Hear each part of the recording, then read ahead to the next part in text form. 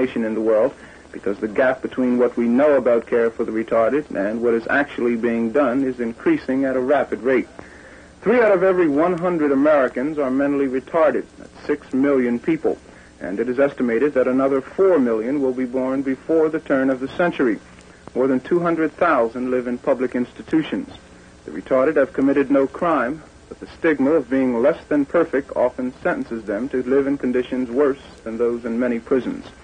That is the subject of tonight's report, a study of what the state of Maryland provides the mentally retarded. Segments of the program were shown earlier this month on News 4 Washington. Much of what will be shown is ugly and shocking. Some of you may not wish to see it.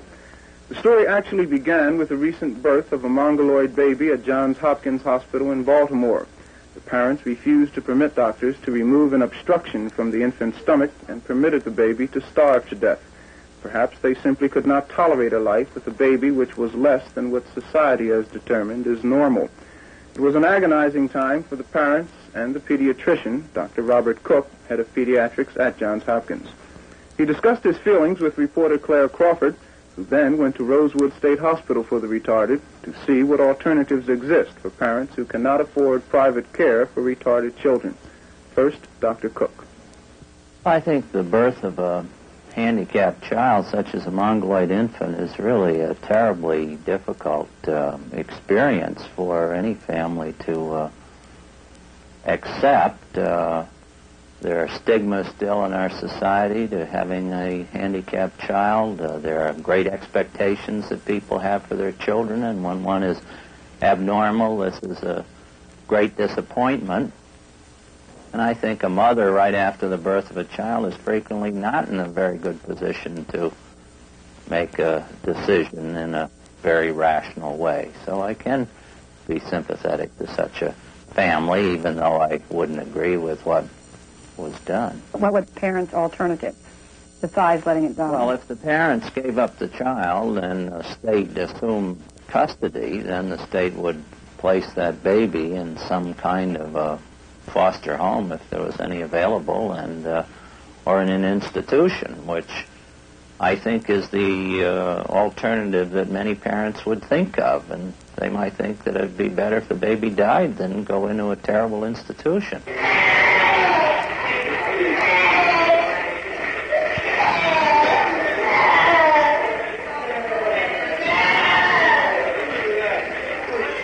These people are inmates, not patients. They have been placed here by their parents or the state. They have done nothing. They just have IQs of less than 70. That's what can happen to people like them in Maryland. 104 of them live in this building, which can cost their parents up to $16 a day. It's called King Cottage.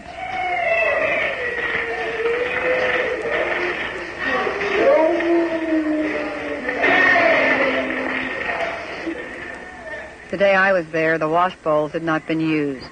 The dust was clearly visible. It was obvious that they had not been used for some time. An attendant said there was a broken pipe, but the mop sink worked. The attendants say the inmates were bathed the night before, and every night for that matter. But the inmates did not smell or look as if they were bathed often. So no one really cared that there was no bathing that day, or that no one's teeth were brushed. Many inmates have obvious dental problems or have no teeth at all. An attendant says it's cute to watch the toothless ones pretend to brush. Okay.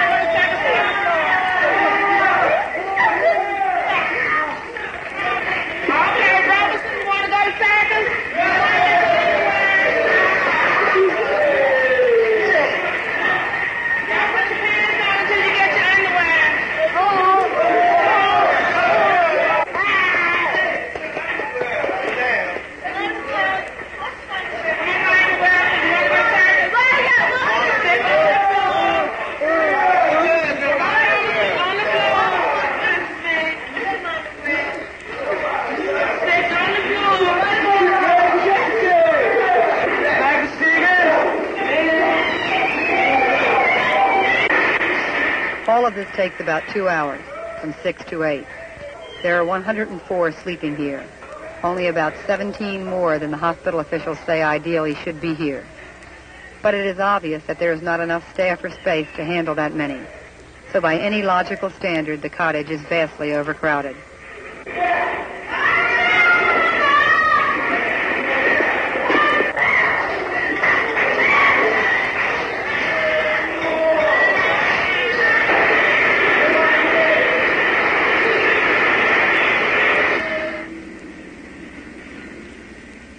Rosewood used to be called the Maryland Asylum for the Feeble-Minded.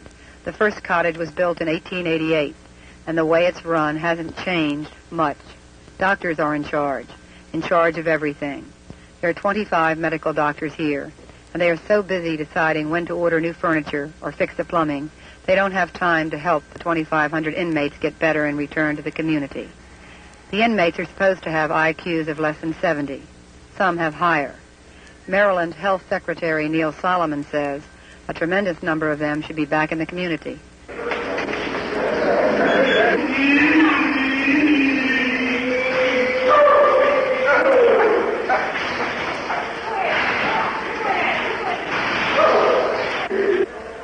Every door is locked at King's.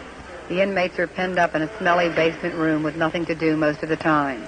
The new state mental retardation director, Bert Schmickel, says Many of the inmates are mentally sick and need help, but there is no psychiatric help at Rosewood. Mostly the inmates are left alone. Some chew on mop strings, some carry out fantasies, and exhibit symptoms of mental disorders. There's supposed to be an hour of recreation in the morning and afternoon.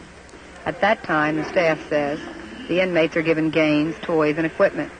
That's kept locked up at all other times because the inmates will break it up as children do break toys.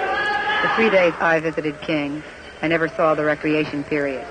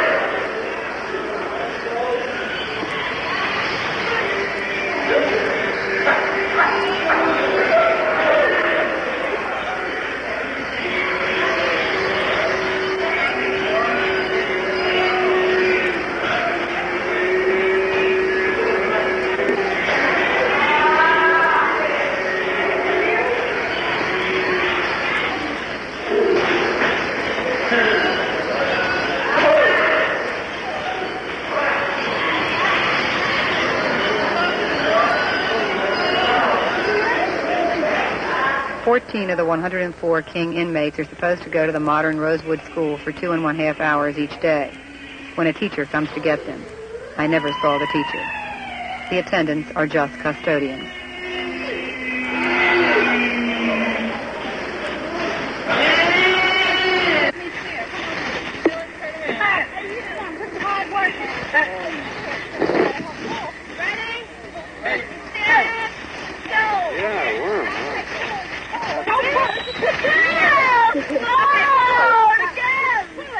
When they manage to get outside, they enjoy it. This day, the recreation aide, who serves another cottage besides King, insisted on taking the patients out. The staff felt the ground was too damp. Most attendants find it easier to control the inmates in a locked, empty room.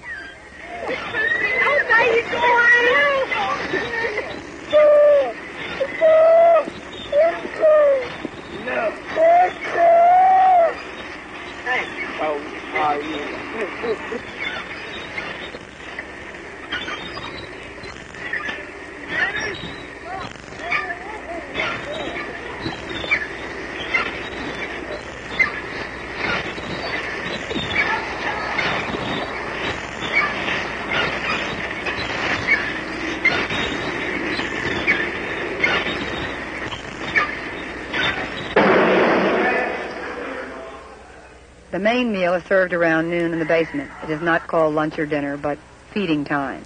Recently, the food cost 85 cents a day, but Solomon on his own increased it to 99 and one half cents. The legislature objected, saying he didn't have the authority, and he didn't. However, the higher rate is still being paid. No matter, the food still smells like the room. It has the same bad kennel stench which stifles the upstairs. I was there for three noon meals. During an arranged visit, the room was spotless. When I came unannounced, the room was dirty. An attendants kept the inmates waiting while the place was swept, presumably for the cameras. When the inmates eat, the scene cannot be adequately described. It must be watched to be believed.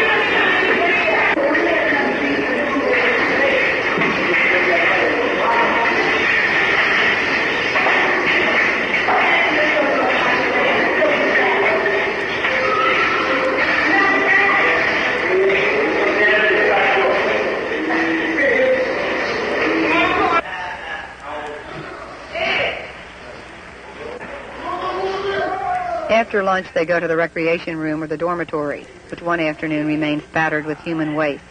It's not clear who is supposed to clean up such mess.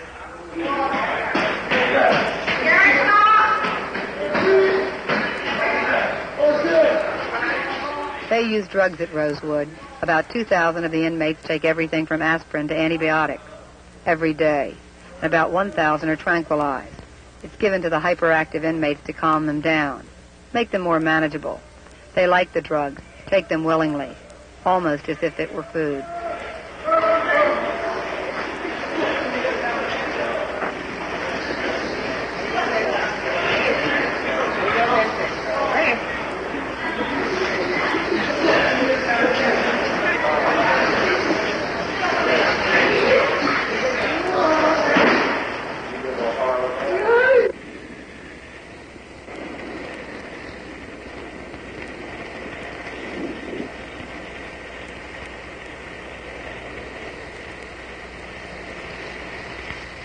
The barbed wire at Rosewood seals off the maximum security ward, which is called the Zell.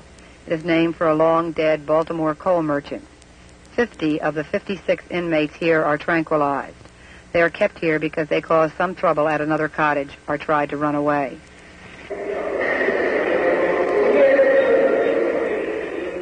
The less retarded are toilet trained and usually spend their days in the basement where it smells. The reason is that the toilets at the end of a basketball court are stopped up and because they are broken, no one uses the court. It is empty. The toilets are scooped out, but even then there is a smell, so the court is not used. One Bazell staffer said the toilets have been broken for six years, but Rosewood clinical director Kurt Glazer said that is not true, that they have been broken for only three years. Immediately after I visited Bazell with television cameras and called a hole in the roof to Dr. Glazer's attention, it was partially fixed. Rain for some years came through the hole and down all three floors of the Zell.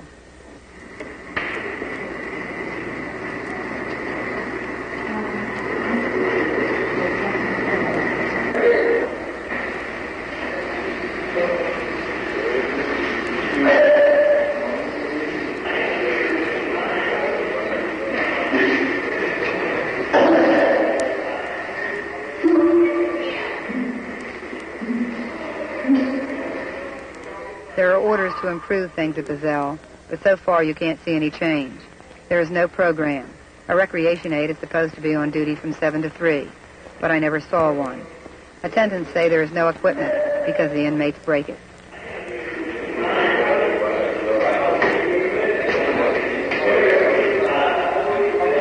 And officials admit that some of the less retarded may not even belong at Rosewood. Two inmates in particular did not have any symptoms of the others. But most of the people obviously need help.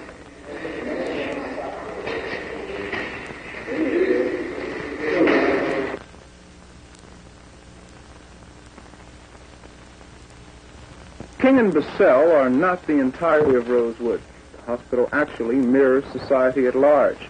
There are sections of the institution where the treatment is reasonable and the retarded are being trained. But as you have seen at King and Bassell, Rosewood does have its dumping grounds. At other sections, the retarded are being trained because they have learned the Rosewood system, obey the rules, a system that's hard to understand for a person with a low IQ.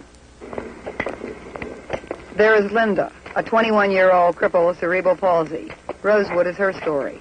She spent most of her life here and perhaps has received the best and briefly the worst the institution offers. Though she is smarter than most Rosewood inmates, officials haven't been able to find her a home outside.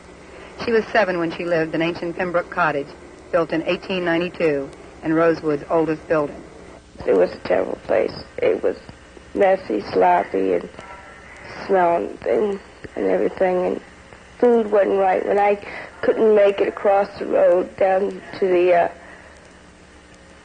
oh, what would you call Cafeteria. it, cafeteria, um, they used to bring my food in a plate, plate, plate uh, paper plate, and it was cold, and kind of mixed, and it didn't taste right. And uh, half the time it wasn't, you know, cooked right. I could find like maybe a piece of eggshell and eggshell, and maybe potatoes wasn't cooked right or something like that.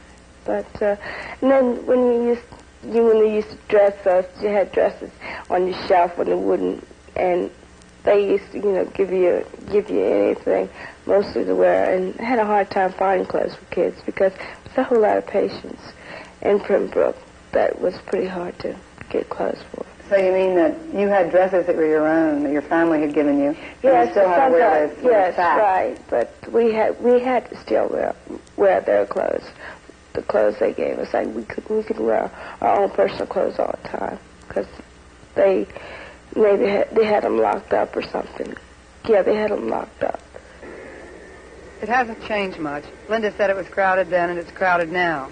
There are 76 women and children living in the Fieldstone cottage, which really is too small for even Rosewood's ideal capacity. Officials say there should be 61.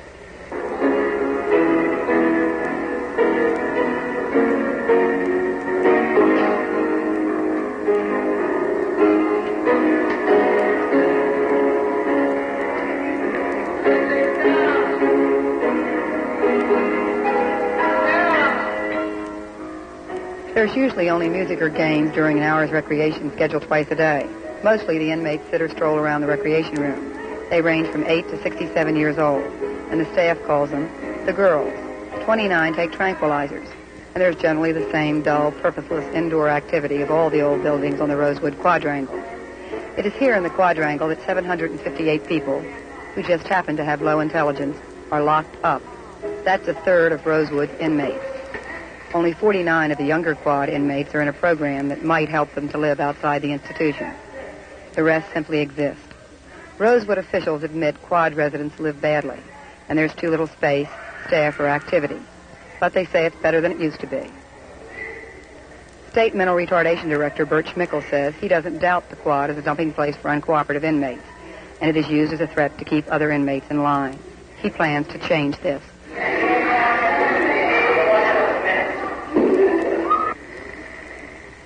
As Linda recalled, Quad and Pembroke residents can't even wear their own clothes most of the time. It's the next shapeless sack on the state dress shelf, small, medium, or large.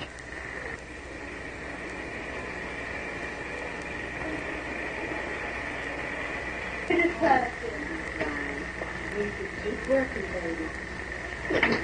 Linda, look this way. Don't look at the camera. For some reason, 32 lucky Pembroke residents usually attend classes like these for one hour weekdays. Another hmm. 42 quad residents also are in similar classes. four, five, three, seven, eight, nine, ten. These may be the most tragic inmates and perhaps the only patients at Rosewood, the bedridden. They will always be in an institution. Besides their obvious and appalling physical infirmities, a number of them are not mentally retarded. But they have the same program as the retarded patients in this overcrowded ward. This program is not official, but appears to be the efforts of the staff. Schmickel praises them, but he wants more. He says even a very retarded, bedridden patient should have music to enjoy or be moved from bed to mat every day. He thinks this type of patient should be intellectually stimulated.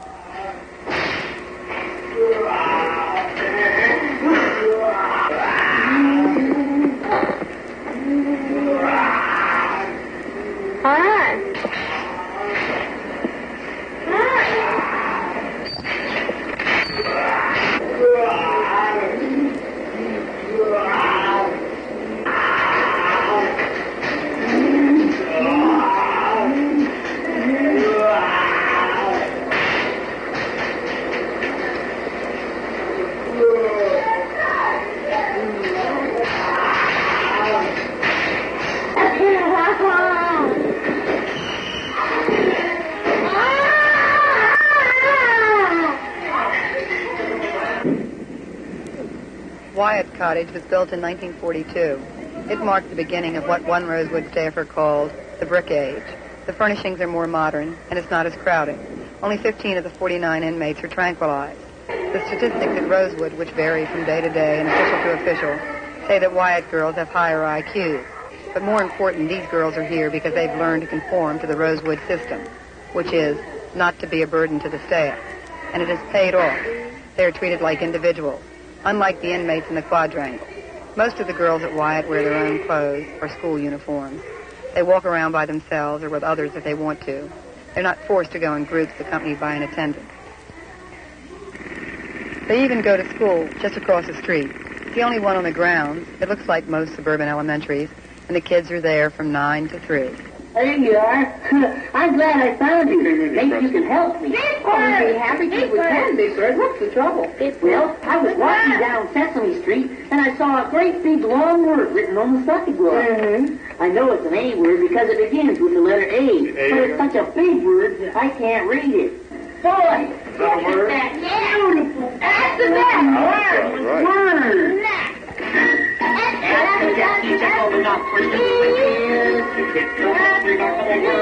Seen.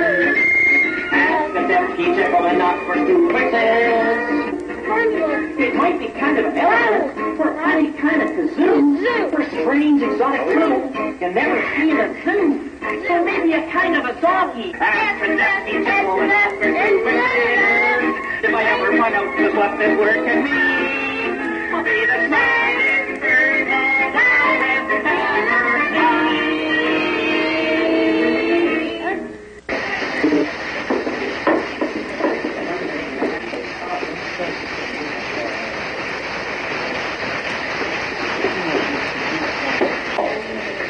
You can get sandpaper. Get rough sandpaper first and then smooth. Okay, Lawrence. That's good. You guys put it in there. Now, this is the bottom. See where it cuts off? Now, put it in just like that. Go ahead. You need more paper? Here. Are you sure? The school is generally regarded as successful, although it doesn't reach all the inmates on the campus. The key is individual attention and small classes. In fact, compared to the rest of Rosewood, the school seems empty. In addition to the regular members of the staff, there are volunteer aides who come in from the outside community. The lessons are practical, how to get along with classmates, how to pay attention, how to count money. Gonna make this nine a what? A what? I'm scared of this thing. It's not gonna hurt you. Okay, look. You had your one up here. Look at me. You had your one up here again, but you didn't carry it. You didn't. You carried it, but you didn't add it. About 500 of Rosewood's residents are in full-day educational programs like these. They are the ones with the only real chance to leave Rosewood and make it in the world outside. The school has many of the advantages of a wealthy one. A stage, an orchestra pit, a gymnasium, a swimming pool, and a music teacher with two degrees who comes up with special arrangements for the school band. One, two, three, four.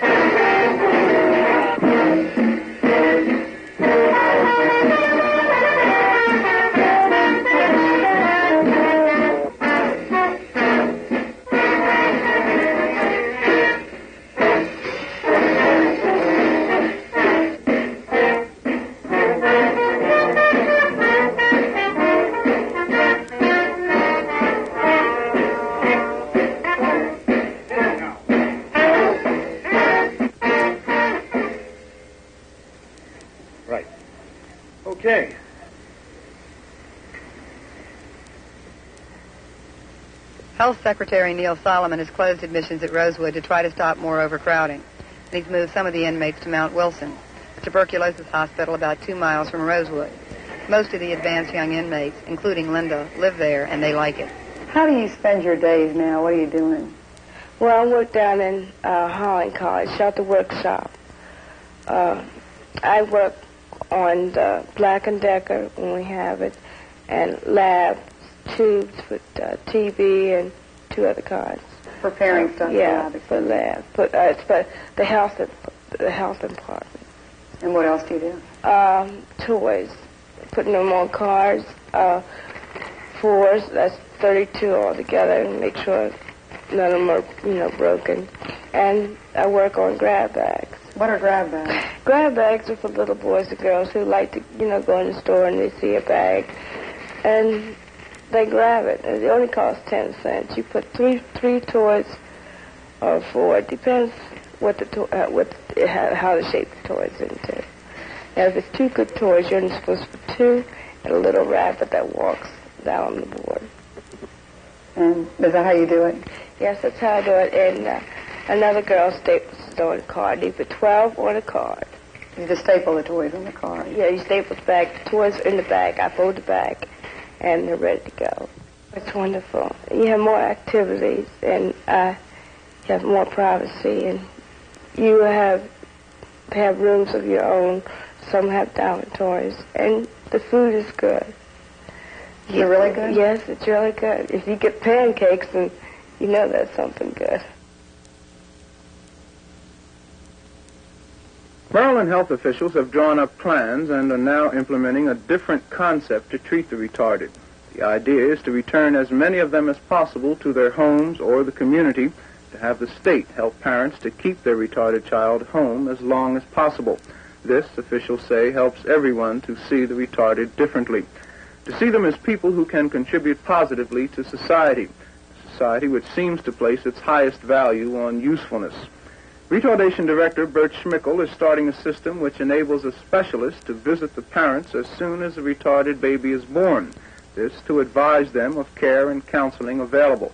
The new plan also combines daycare centers, foster homes, and smaller institutions. Henryton Hospital for Retarded Adults is 12 miles from Rosewood, but a world away in lifestyle. 391 men and women live here. Most of them used to exist, or in reality, vegetate at Rosewood. Nearly all of them came from Rosewood's quadrangle, and half from King and Pembroke cottages. They are toilet trained, eat with knives and forks, productive, and apparently happy. This is what happens. Yes, yes.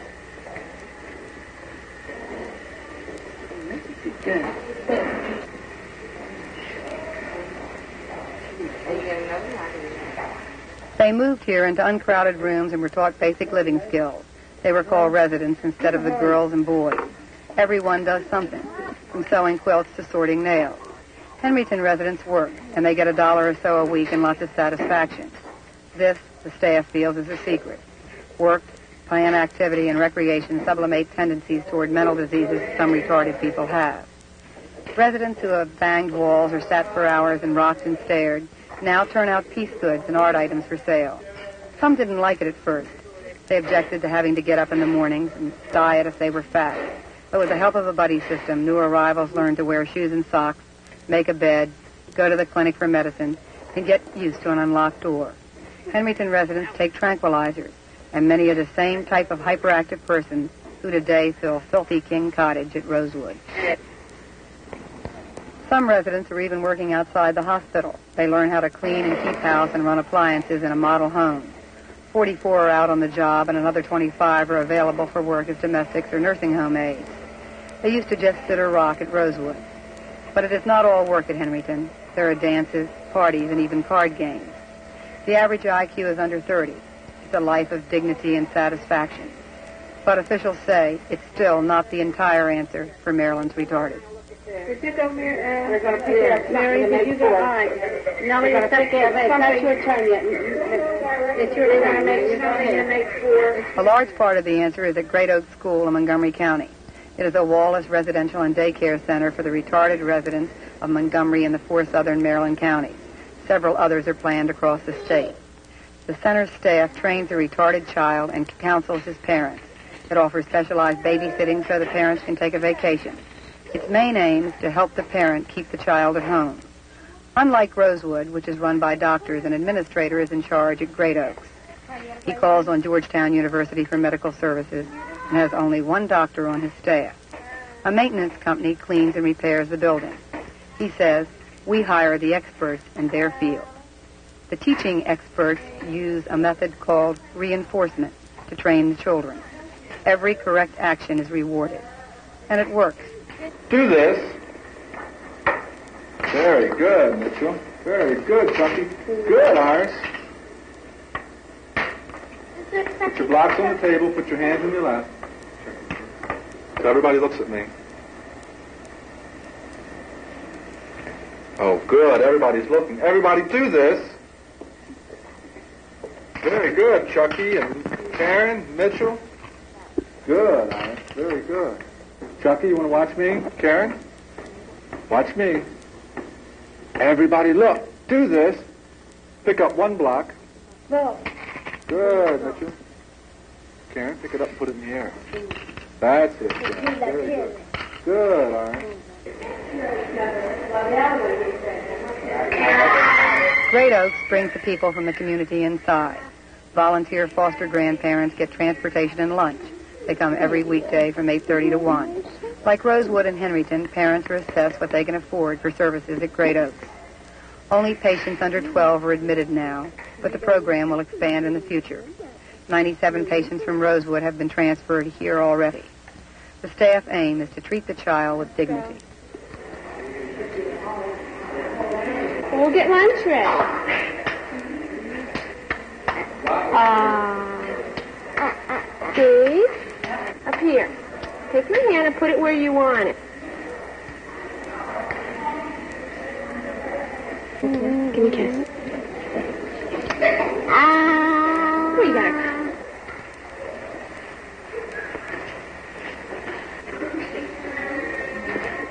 The foster grandparents rarely miss a day. The Great Oaks director isn't sure who benefits the most from the program, grandparent or grandchild.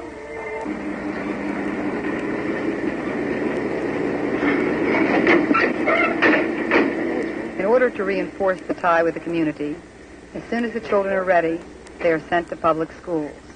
Great Oaks opened last year, and five children who live there were ready to attend special classes in Prince George's and Montgomery counties this September. Do you have anything you want to show us? This was from, Oh, what did you learn about fire prevention? oh, we learned that, uh, that we're uh, supposed to stay inside. I mean, go outside when there's fires. That's good. The parents of some of the children who live here take them home weekends. During parent counseling sessions, they are told what the child is being taught in school and how to keep up the learning process at home. The parents also tell the counselors what they think their child needs to know to be a successful part of the family. As good as Great Oaks is, there are still thousands more retarded not being helped in the area it serves. So retardation director Schmickel wants to set up more daycare facilities, like the Providence Center near Annapolis. This would keep retarded children at home, where Schmickel says most of them must ultimately be, if the potential of the retarded child is to be realized. All right, now here's your turn. Hold the wood. Yeah, yeah, yeah. Jump, girl. One, two. Yeah. Good girl. Yeah. Yeah. Jump, jump,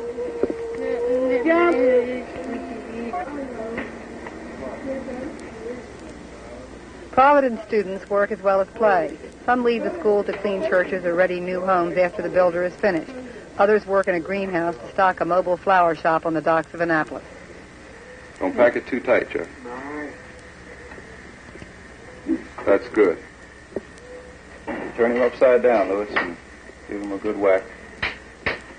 The first make a hole. Okay. Wait, we gotta put some dirt in here first. I think you got it, Lewis. Careful now. Don't break it. That's perfect. Oh, look. Here, come on, Mom, let's get going. Because it needs to be compact. Providence director Patricia Hudson says Providence was opened 10 years ago by parents and county officials who were distressed because there was no place except Rosewood for their children. Gracie, you're coming. The students concentrate on useful things so they can help out at home and have better body control. Uh, Garrison, get back to your chair. Get back to your chair. Put it down. There's some more. I'm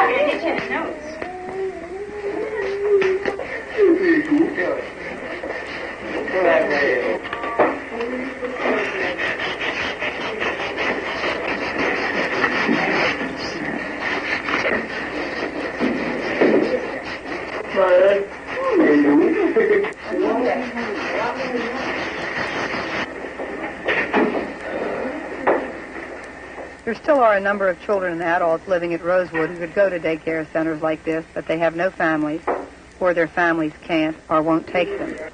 Others, however, have found great satisfaction in raising retarded foster children.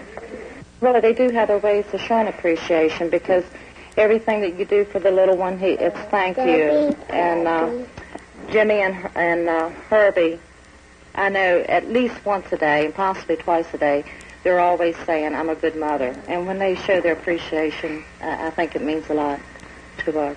It's just a wonderful life. I've been raised around a large family, and everything went along nicely, and just just a wonderful feeling. That's all I got to say. Mr. and Mrs. Ernest Smith live in Baltimore. He's an electrician for the B&O Railroad, and they have three teenage children of their own. The state pays them $110 a month for each of their three foster children. Well, can you say a pledge allegiance to the flag? Yeah. Well, let me hear you say it. Yeah? Say it. Precious to the flag of nations, to the flag of the thing, one nation, God. Kirby is nine. He's been with the Smiths for two years. His natural parents visit occasionally. His IQ is below 50. Who comes to visit you once in a while? Andrea. Does Miss Kimball come and see you? Yeah. Yeah? Yes. You like Miss Kimball? Yes. She's a very nice lady, isn't she? Huh? Yeah. Well, where'd you go on your vacation this year? Jimmy is seven, a mongoloid, and he has the same 30 to 50 IQ as brothers do. He's been with the Smiths three and a half years, and his parents don't visit him. Aaron. Aaron. Yellow. Nothing. Well, what's your favorite color? Blue. Blue. Look, who's this? Aaron came to the Smiths when he was just six months old. He's almost five now. He's a mongoloid too, and his parents don't visit either. Who am I? About the Look, who am I? they, me. All of the boys placed here by Rosewood attend special schools. The two older ones in the regular school system, and little Aaron at a day center. The mother says her older children help her. But most of all, the three retarded boys have brought the family closer than ever. That's big car. Big car. Big car? Ooga, Ooga, ooga, yeah. As I reported, what you have just seen was shown earlier this month on News 4 Washington. And as a result of these reports, no one was fired, although it is obvious that Mr. Schmickel would not mind if some Rosewood administrators resigned. A change from traditional and, in some cases, inadequate institutional care seems underway. Clare Crawford went again to Rosewood. Here is that report. Maryland Retardation Director Bert Schmickel stepped in and took personal supervision.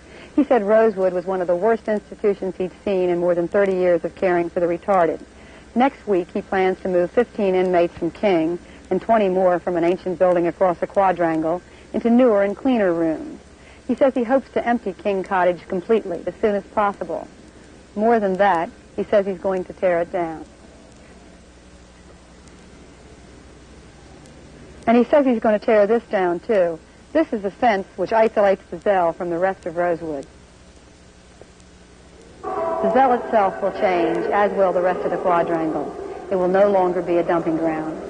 They've taken out the broken toilets, the ones that have been broken for three to six years, depending on who you asked. So now the inmates can use the basketball court. The hole in the roof isn't fixed completely yet, but a contract to do that has been let. Mr. Schmickel has ambitious plans for quadrangle inmates. The people who remain here will be in smaller groups in repaired buildings with rugs on the floor and personal possessions. They will truly be patients instead of inmates. He thinks it will take a year to 18 months to do it. I believe firmly that um, we should plan and program for the retarded exactly as we plan for the normal person. Everything we do should have and keep this thought in mind. Uh, when we talk about normalization, and if we really believe it, and uh, it's, it's part of us, then we couldn't do the dehumanizing things. We couldn't live with the dehumanizing kind of things that are taking place uh, here now in, in uh, some areas. It, and I do not make any exceptions. Uh, in other words, the profoundly retarded we should approach in the same way as we should the mildly retarded. And we should look at them in terms of, of developing them to their fullest potential uh, within normal uh, settings. What do you think went wrong here at Rosewood, say at King Cottage? Well, I think size and numbers is very detrimental toward, toward approaching any kind of a training, uh, child-centered program. It's, it's impossible. And uh, the larger uh, an institution gets, uh, the more crowded a, a, particular cottage gets, the less and less individual the individual is noticed. Uh, um, as I've said so many times, in a large institution, the administrative concerns become greater than the concern for the individual. And I think the average person who sees what is going on here will almost volunteer, as you said now, what, what can we do? We can, uh, we can set up our own foster grandparent programs. We do not necessarily have to have federal assistance, but we can take middle-aged and older people who can give us a few hours a day and sign them to one or two people per week on an individual basis. And uh, I'm sure this alone will bring, uh, for the first time, some personal attention to many of these uh, people that you see. What do you think the future of large institutions like Rosewood is? Well, as far as I'm concerned, they should be out of business, uh, particularly in the uh, care of the mildly and moderately retarded. I think we need backup institutions uh, for those with serious medical problems, uh, unusual uh, behavioral or emotional uh, overlay in, in, in, in, behavior. And um, we should be moving towards small group home and individual homes scattered throughout the, the communities.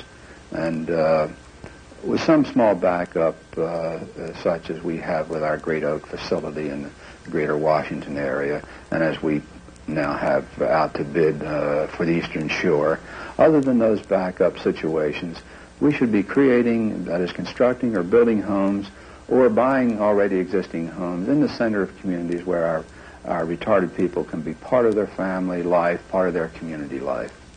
But it will take political commitment for the changes that Schmickel wants. Immediately after these reports were aired, Maryland Governor Marvin Mandel called the series a rehash. He said that his administration was aware of the problems and had made tremendous progress in helping the retarded.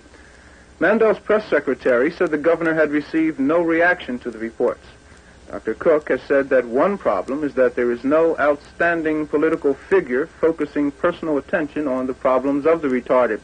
Cooke said that President Kennedy, who had a retarded sister, was attracting attention and research money to the handicapped before he was assassinated. That combination of political prestige and personal involvement is needed again, according to Dr. Cooke. Two state legislators saw the Rosewood reports and said the situation illustrated a basic political problem. There are in excess of 120,000 mentally retardeds in the state of Maryland. 80% of these, according to national statistics, can be rehabilitated and made tax-paying citizens. Now, aside from the humanity that's involved in doing this, and that is in developing a person's abilities to the greatest extent for him and for the benefit of society, there's an economic factor involved. A substantial amount of money spent now would save us millions and billions in the future. And that all we've been doing over these many years, in many cases, is throwing millions of dollars down the drain. Nobody can tell me that budgets are all that important. It's about time we humanized our budgets. Uh, unfortunately, I was just talking to uh, one of our cabinet, new cabinet members, who told me that he's beginning to see now that budget seems to control everybody's thinking, and he's a little shocked. I won't mention his name, but he's a person who's well versed from the other side of the fence. Now, budgets aren't the predominating thing here. A human factor is what should be predominating in our budget thinking. Tremendous inertia in our society, and I think one of the ways of breaking up this inertia of big buildings, big bureaucracy, is to put the hands, uh, put the money for the care of uh, these children in the hands of the parents, and let them purchase care. I've described this as the free choice principle. Uh, allowing uh, Social Security, for example, to make payments directly to the family, uh, for them then to purchase uh, care uh, in uh, nonprofit institutions, or for that matter, even profit institutions, uh, so that the families have some alternative than simply the state institution. This wouldn't cost society anymore because there's an enormous amount of money relatively going into these big facilities that uh, pay a whole hierarchy of salaries. The number of doctors at Rosewood, for example, grossly in excess of what's needed for the medical care. And uh, those salaries take up a good deal of money. And the supervisor of the supervisor costs a good deal. And I think smaller facilities really can end up to be less expensive. There is a feeling amongst uh, administrators that if something's very big, it's cheaper. But I think the evidence is heavily in the other direction. Dr. Cooke, who is also the chairman of the Scientific Advisory Board of the Joseph P. Kennedy Jr. Foundation, says the retarded have more than financial and political problems. They must combat society's fickle attitude. Throughout history, Dr. Cooke says, the retarded have been alternately scorned and revered. They have been left to die. They have served as court jesters or worshipped as if carrying special messages from a deity, and they have been relegated to institutions. He says today in America there are special pressures working against the acceptance of a person with low intelligence. I think it's a reflection of uh, our rather great hopes in our society that everyone's going to be perfect. And if you're not perfect, why, it's very easy to be rejected. We see this now with the new programs for abortion of the uh, handicapped, uh, the mongoloid baby or someone else. And uh, those programs uh, move more and more towards uh, eliminating defects which uh, I think a generation ago were tolerated. Now, some of the defects are very severe, and I think that uh, this may be justified in some instances. But what concerns me is that our hope for a kind of perfect society means that our expectations for our children are very unreal. And if a child doesn't come up to expectations, then he may be rejected by his parents, and this is very destructive to uh, any individual. It does uh, go along with the belief that everyone in America should be very productive and that we ought to turn out an increasingly large gross national product and to be of service to people, to take care of individuals that aren't perfect, seems to be rather low on our scale of values.